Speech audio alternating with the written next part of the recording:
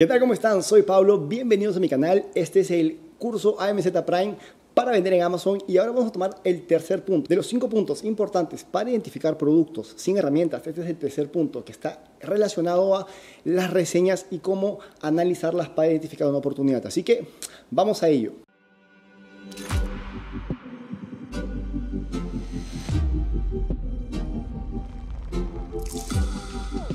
Estamos en el nicho, ahora estoy en el primer ítem y en el segundo, ahora estamos en el tercero, que es las reseñas. Recuerda que estamos en el top de la categoría, en los bestsellers, desde el 1 al 100 más vendido de este nicho. Entonces nos vamos a enfocar en las reseñas. Ya sabemos que estamos en el nicho, ya sabemos que el precio medio está sobre lo que buscamos, que es sobre los 30 dólares, como hablé en los videos pasados. Entonces, ahora nos vamos a enfocar en la cantidad de reseñas. Miren, hay productos que tienen unas cantidades de reseñas muy fuertes, mira, 28 mil, 2.800, 5.300. Eso quiere decir que son productos que tienen mucho tiempo vendiendo en Amazon. Cuando tú desees aplicar esta estrategia, lo que estás buscando, y te lo digo, es identificar un producto relativamente nuevo. ¿Cómo sabes que un producto es relativamente nuevo? Por la cantidad de reseñas.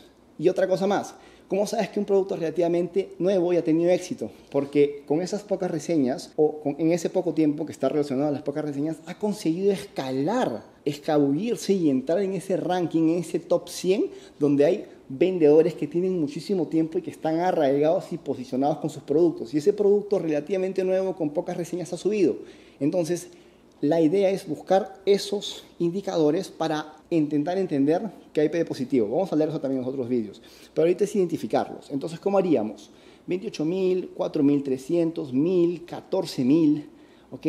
164, 286. Miren, esto es lo que estamos buscando. Aunque el precio está un poco bajo, esto también está interesante. Estos dos tienen pocas reseñas en relación a los otros que tienen 4.000 o más de 1.000 o 14.000. Estos dos pueden ser interesantes para un análisis. 2.000, 2.000, 1.000, 48.000, 152, acá hay otro. Miren, dos, dos y está en el top 16 de la categoría, ¿vale? Esto es sumamente importante porque estos son indicadores, nuevamente recalco, de que algo diferente están teniendo estos productos que están consiguiendo escalar.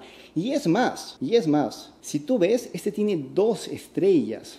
Es un producto que no está muy bueno y que mismo así está bien posicionado en este nicho. Es más, podemos entrar al producto, si podemos entrar al producto y ver la cantidad de reseñas. Tiene dos. Es un producto relativamente nuevo para continuar con el análisis y con esa estrategia en el siguiente video. Si el contenido que te compartí en este video te aporta valor, no te olvides de que estoy creando o he creado el curso más detallado para vender en Amazon totalmente gratuito, curso AMZ Prime. Suscríbete a mi canal para que te lleguen todas las alertas relacionadas a ese curso. También si deseas más información o mentorías personalizadas one to one para desarrollar tu negocio de venta en Amazon, en la descripción de este video encontrarás un link con más detalles. Esto será otra oportunidad. Nos vemos.